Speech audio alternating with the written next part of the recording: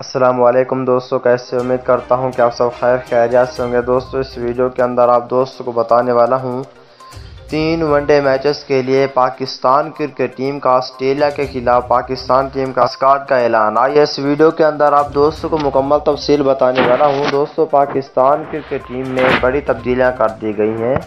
दोस्तों, पाकिस्तान टीम के सच्चे और पक्के फैंस हैं तो इस वीडियो को लाइक करें, चैनल को सब्सक्राइब करें। बेल आइकन दबाकर आल पर लाजमी क्लिक कर देना है। तो दोस्तों, बढ़ता हूँ वीडियो की जानब और आप दोस्तों को बताता हूँ इस हवाले से मुकम्मल तफसील।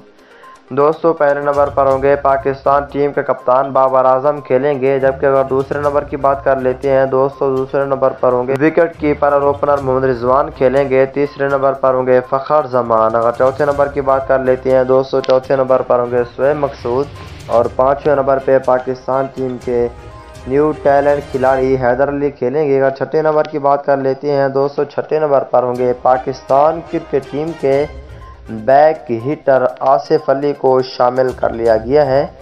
और सातवें नंबर पर होंगे पाकिस्तान टीम के बहुत ही अच्छे ऑलराउंडर हसन अली। अगर आठवें नंबर की बात कर लेते हैं दोस्तों आठवें नंबर पर होंगे ऑलराउंडर अमाद वसीम। और नौवें नंबर पर होंगे पाकिस्तान टीम के वाइस कैप्टन शादाब खान, जबकि दसवें नंबर पर होंगे पाकिस्तान टीम के फास्ट बॉलर शहीन शाह अफरीदी और ग्यारहवें नंबर पर होंगे मोहम्मद नवाज़। तो दोस्तों, ये था पाकिस्तान क्रिकेट टीम का स्कॉड